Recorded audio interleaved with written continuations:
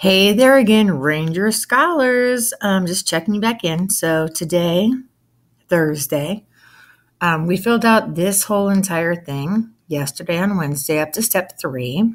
Quick review, even though I just did. Um, we talked about our claim that we suggested that we serve pepperoni pizza at the upcoming welcome dinner for our town's International Sports Day dinner. We then looked at the infographic that was provided, and in the numbers section, we found some startling information. 350 slices of pizza are eaten per second. What? 70,000 pizzerias are in business across the nation. 40% of Americans eat pizza once a week. That's some pretty good information that we can use to back up our claim that we should serve pizza at this dinner for our international sports celebration. Another thing that we were asked to look up was um, affordability. Average cost per pie is thirteen twenty. That feeds at least four people. You do the math, people. That's pretty good. Now, the last thing was kind of rubbish. I think it asked us about top things around the world that didn't have anything to do with what they asked us to do in this claim. So I said rubbish.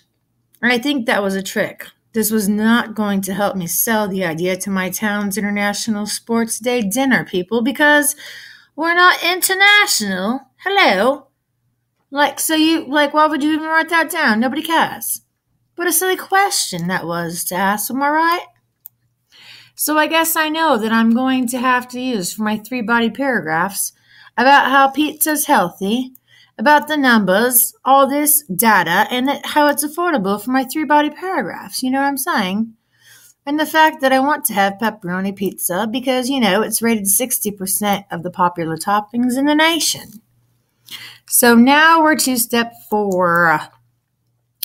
So we have to write a beginning, middle, and end. So today, what you need to do on this assignment is use your data that you have gathered from the infographic, not from your head, not from what you think, not because you know. You guys all always say, like, oh, I just know it. Like, no, use the information provided. What are you talking about? Use this little pizza thing. Come on. All right. so, in the beginning, your first sentence should be a hook. Hook your reader. That is, it should grab your audience attention. Immediately interest them in your essay. Your hook can be surprising fact, a compelling amusing anecdote, that's a story, anything that will immediately engage your readers. Now, so you might have to research that for a moment to do that, but as you know, we always do it first paragraph. Hook the readers. After you hook, the last sentence of the first paragraph has to be that claim, your thesis statement. Okay, I'm just telling you, everybody should be this right here your last sentence of your first paragraph. I suggest that we serve pepperoni pizza at the upcoming welcome dinner for our town's International Sports Day dinner. So I gave you that. Then you do a double space, space, and go to the next paragraph. All right, middle. You have to explain, explain to your readers why pizza would be a success at the welcome dinner using the information you wrote in step two. Then explain to your readers what kind of pizza you would serve at the dinner and why using the information from step three. So, what I do, I would suggest the information you wrote in numbers, the information they gave you in healthy, and the information and affordable you use. And then the next step, this sentence right here what kind of pizza? Clearly pepperoni. I mean, come on, are you for real? We already know it's the top five toppings and it's 60% ordered by people in the popular America who, you know, order pizza. Like, you have to be silly not to do that.